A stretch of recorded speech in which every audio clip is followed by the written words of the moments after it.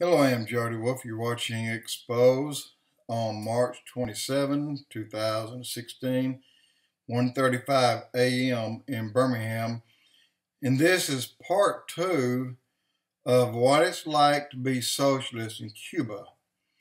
And, um, and I'm able to tell this by firsthand knowledge and uh, through a doctor that I have known since 1973 and um, we ended up being friends. And um, but his wife one day, she's one that asked me. She said, "Can I tell you a story, or can I tell you our story?" And my wife and I was there, and I said, "Sure." She said, "You know, we have uh, escaped from Cuba." I said, "No, ma'am." I, I didn't know you need to escape from Cuba.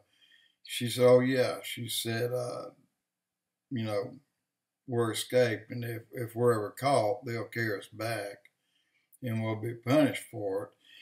And but she went on to explain the story that I just told you, and I'll pick up from there. And um, I told you what would happen if you were in the open trying to talk about Jesus, and any uh, Sharia law believer, anybody that was uh, Islamic, um, most Muslims,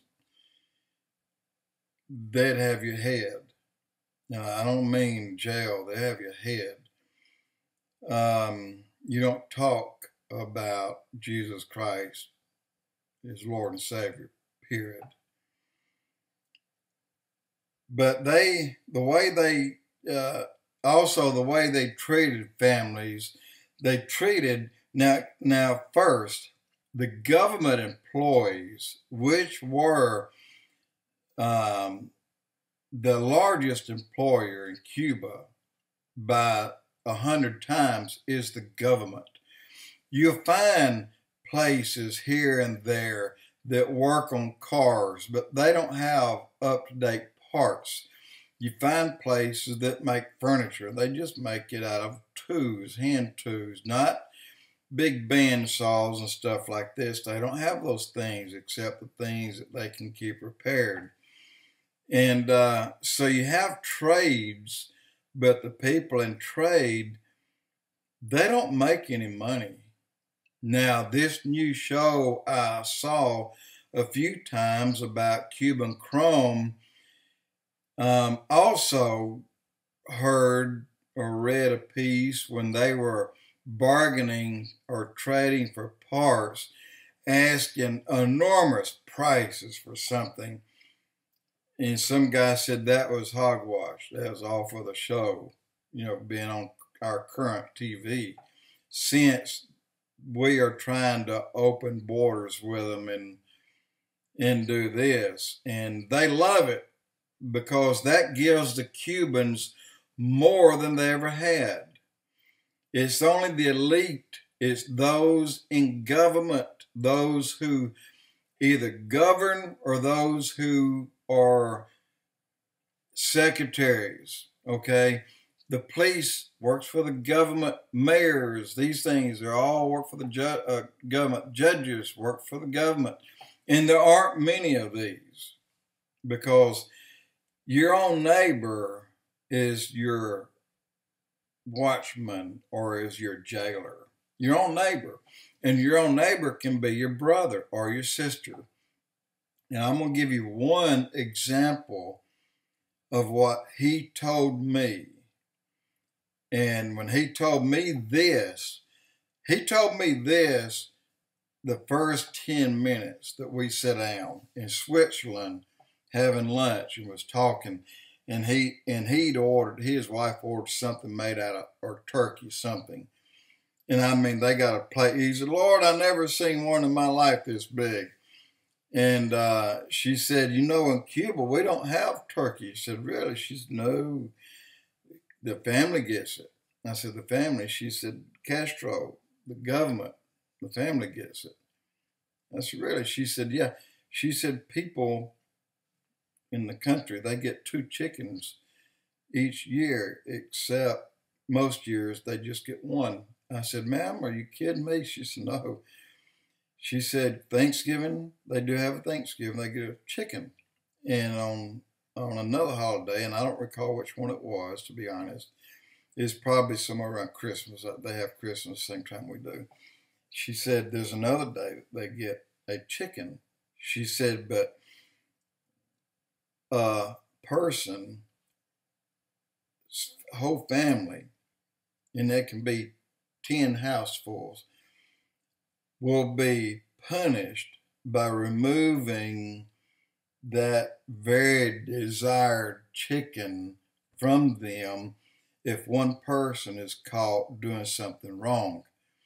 So they had everyone against everyone. Your neighbor looking over your fence to see what you're doing.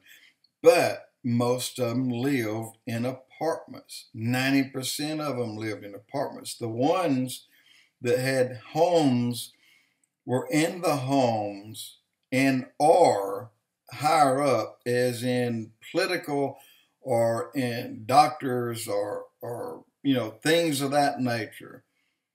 But just the common person that would go to school that didn't have a, a government employee as a father, they didn't, you know, they didn't get much of anything and and everything they made, the government gave to them.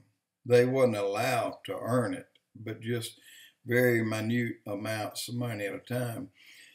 But she said, and this is from her, and then ironically, I heard a similar story many, many years later. Um, I don't know, maybe 35 years later, but she told me she clear, clearly remembers that she was in her house one day and her kids, two of her kids were there, and her husband's still at work. He's a doctor and hadn't got home yet. But she remembers a woman running down the street and the police coming down the street behind her.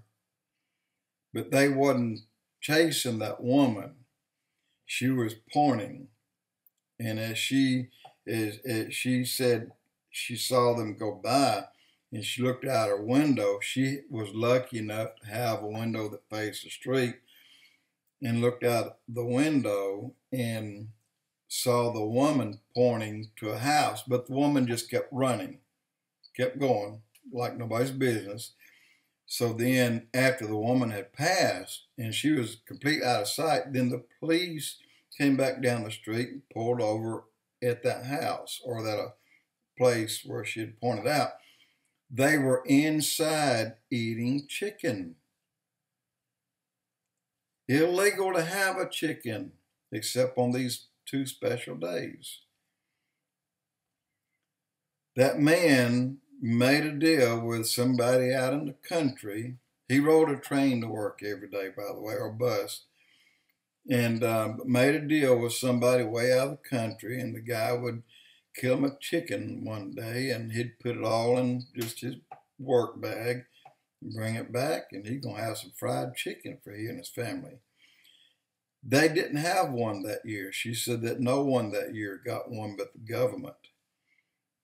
But you smell fried chicken if you're going down the road. You you know what I'm talking about there. That happened.